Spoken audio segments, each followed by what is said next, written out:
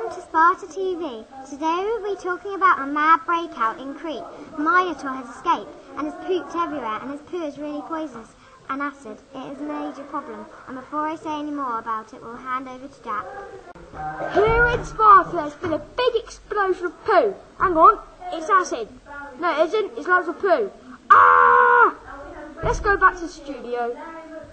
About the poo, been on a young man's head called Zeus and he died. So make sure you close all of your windows and doors so you don't die too.